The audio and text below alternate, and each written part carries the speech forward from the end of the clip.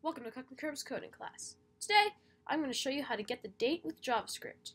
Um, last week I showed you how to get the time with JavaScript. Today I'm going to show you how to get the date. There's the date, December the 1st, 2018. Let's get started.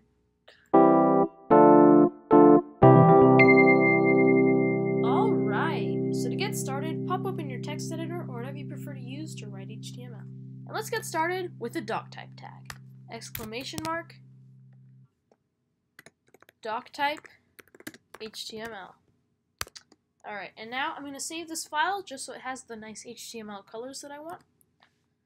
Save this. I'm going to call it date dot HTML. Alright, I'm going to give it a title too. Title. Call it JS date demo. Close up that title tag. Alright. Next, I'm going to make a p tag. This is where we're going to put the date. So p id equals and in quotes date. Of course. Just makes sense. Close that p tag. We don't need anything inside it. And finally, open a script tag. Script var d equals new date. Open parentheses, close parentheses.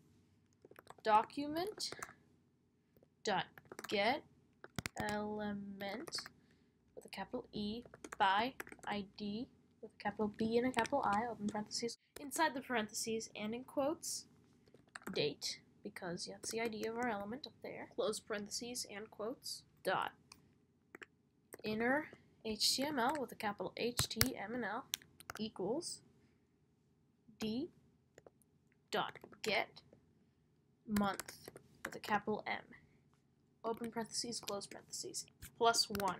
What this will do is it'll add 1 to whatever number the month says because for some strange reason, JavaScript counts the months from 0 to 11, with January being 0 and December being 11.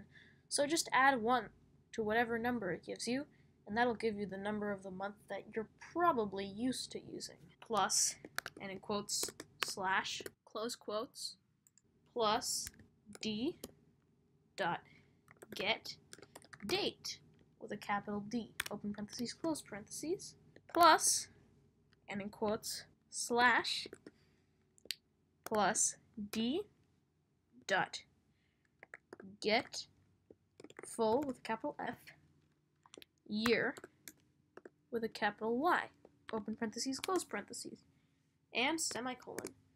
Close up that script tag, and we're done. Save that. Pop up in your browser. Find the file on your computer. Mine's right here.